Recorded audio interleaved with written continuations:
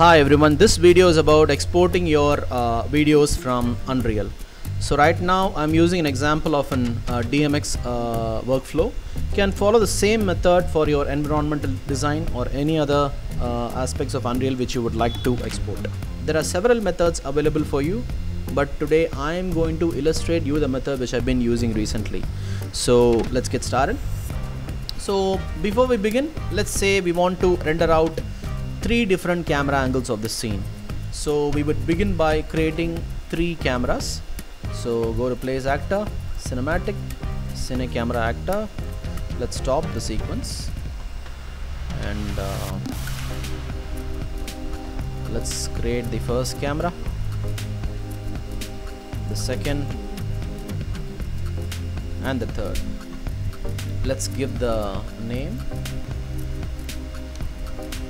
let's name this camera as cam 1 the second one as cam 2 and the third one as cam 3 okay.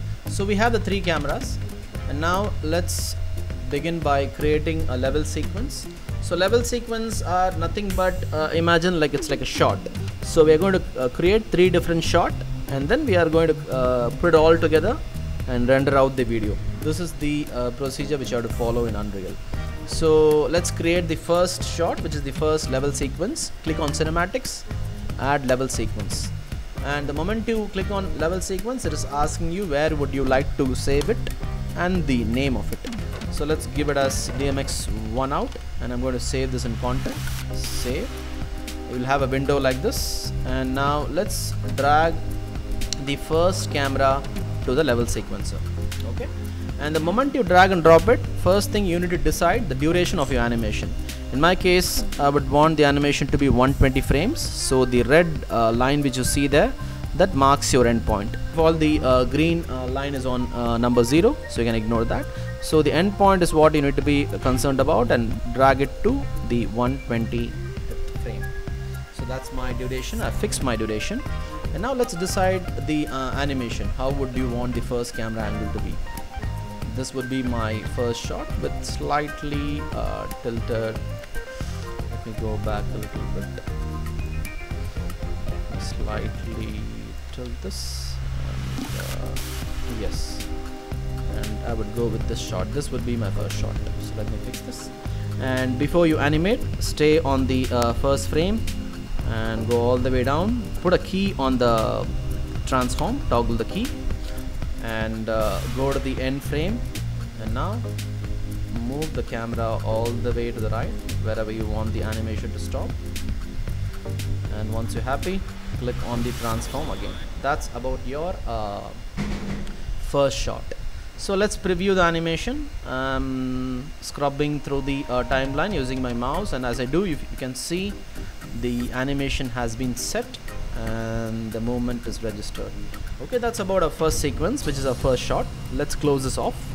Let's create one more sequence cinematics add level sequence and let's give this name as dmx2 out or same as before to the content folder. And this time let's drag in the uh, cam2 sequence. And now this time I would like to have a different animation. So let me think uh, okay let's let's do this. Okay let's have a moment like this. So as if it's going up and seeing the uh, matrix okay? So let's stay down.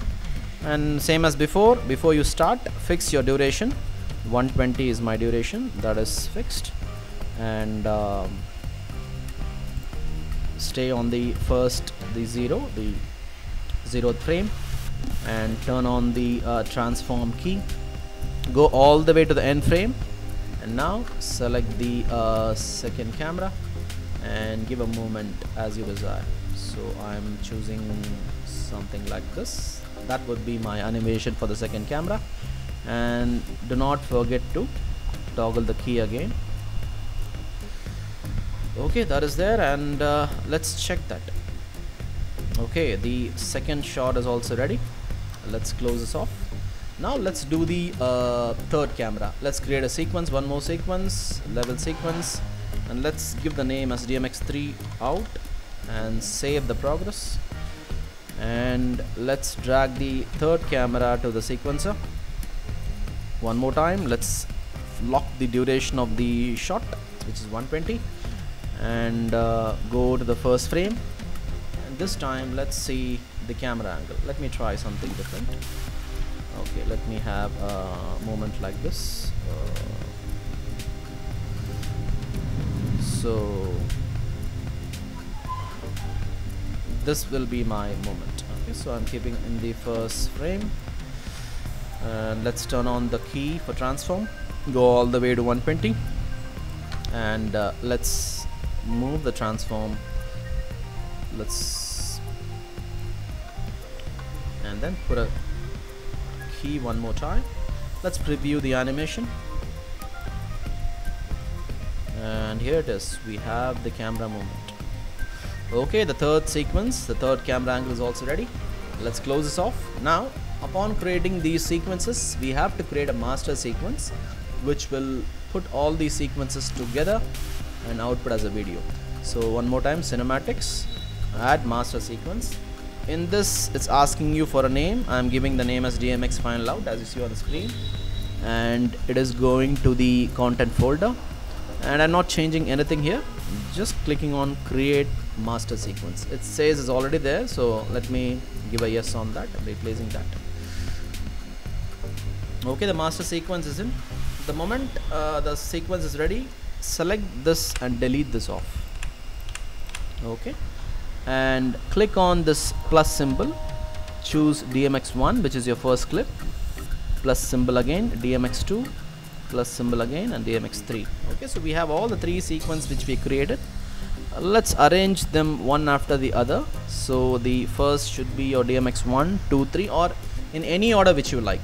This will be the flow of the uh, video and do not forget to mark the endpoint. Otherwise what will happen? It'll the video will get rendered past this 360th frame. So I want the animation to end by 360 so make sure to lock bring the red line all the way to 360 so 0 to 360 is your uh, uh, duration of the video. Okay once this is set we are good to go. We are going to output the video. You need to click on this icon.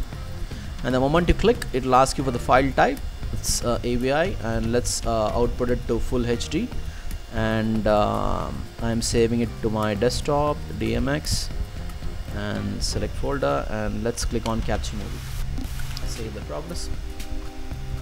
Once this is complete you will have a completion message. Let's wait for this to get over. So we have the uh, capture finished message. That indicates the video is ready let's close this off save it and uh, let's check our uh, video output.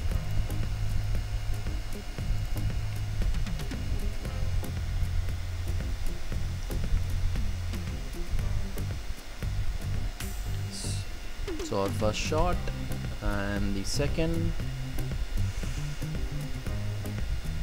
and the third. So here it is and this is the procedure to export your video from Unreal Hope this was useful. See you soon again on the next Unreal Engines tutorial video. Thank you.